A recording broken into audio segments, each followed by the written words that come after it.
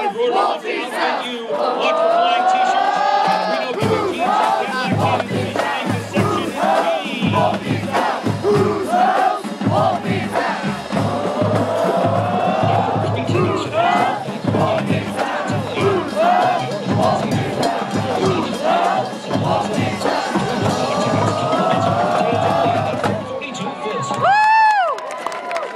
Thank you to the fans who sent in photos from today's game. For the trip.